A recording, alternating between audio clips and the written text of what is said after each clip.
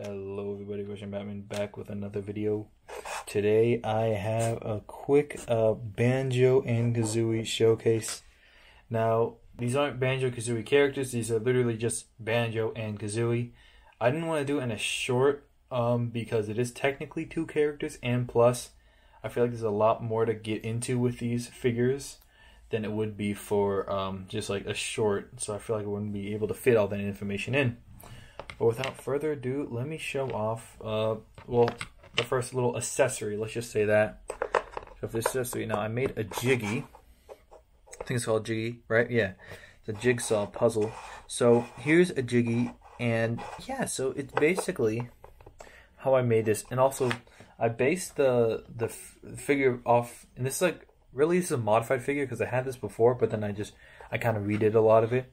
I based it off the Amiibo, so uh, I used it as a reference. So, which is really cool to have a 3D uh, thing of something because it's always hard to find like in reference images like a 3D version.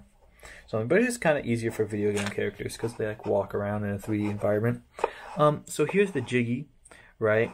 It's really just um, two flat little studs attached to a um, square kind of plate and little indents here that I made with my little Dremel tool.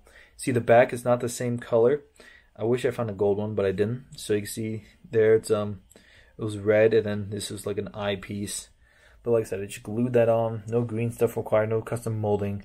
Just kind of glue these pieces. And like I said, I can attach it to one of these Superman poles and then boom. You can also have the characters hold on to it uh, if they just put their hands like in here. So speaking of figures, uh, let me show off uh, let's see. Should we show off? Actually, you know what? This stud's already here. I'm going to show off Kazooie next. So we got the Jiggy. Now let's show off Kazooie. Here is Kazooie as a figure. Now, like I said, if you like, I, I made this figure before, and I had this.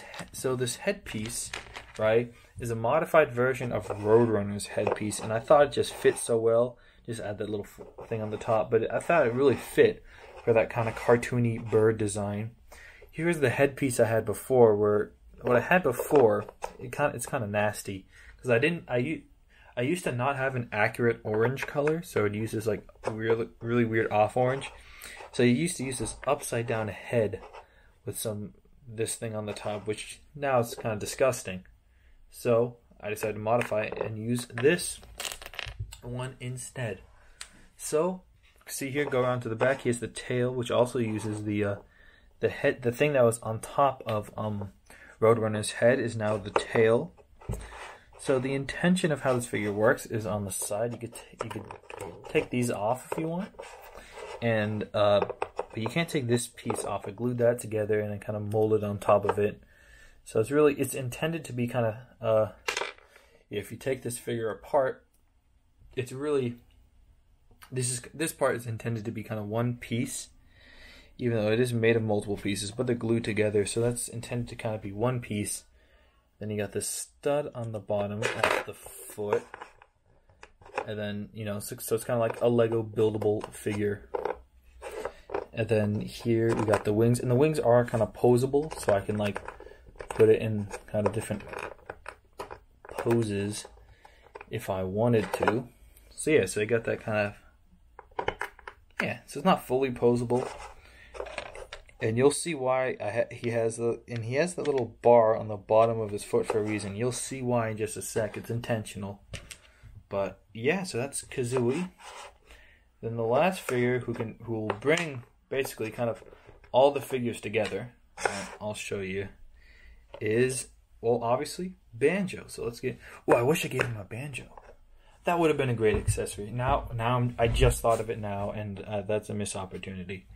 But here is Banjo, and this is kind of the least improved out of uh, the figures. Uh, same head sculpt I had for before, just redid the eyes and redid some of the painting for like the belt. Also painted on the little rare logo on his backpack. And you see, I'll show you why he has such a big backpack. And well, spoiler, it's to fit Kazooie. So how this works is on this backpack, I have this little, this piece right here, right? And this piece is actually, it, it has the the corners are carved out little so it could actually fit because without it it actually this piece won't fit which is kind of really annoying i don't know why lego designed it that way where the piece could almost fit but it can't unless you carve out the damn corners which is weird okay? I'm just gonna say that. That's kind of weird. So what you do is you could just put banjo with the uh, kazooie with the stud on like so. Just connect it. And then you put the head on and it kind of it locks this kind of piece into place. So this actually so I could have it upside down. It's not gonna fall out. Well yeah it's gonna fall off of that. But because this head kind of locks it into place which I think is pretty cool. So you can see there boom you got the banjo and kazooie and then I could also give him the jiggy if I know where that went where did the jiggy go oh I, I brought it back here so then also I could have Banjo hold the jiggy in his hand like so. Boom, nice. And yeah, some other things you could do with it. If you wanted, uh, you could, here, if I take this off, if to wanted Banjo Kazooie kind of more in the backpack, you can kind of fit the head in like that. So you could have kind of Kazooie looking out. Well, that actually that won't fit this way, but it will fit if it's facing backwards, kind of barely. But it's kind of coming off that stud, so you could have Kazooie kind of fully in. Um, oh, I wish I gave him long like legs that could come out of the back because that'd be that'd be funny. Have that kind of Kazooie walk, right?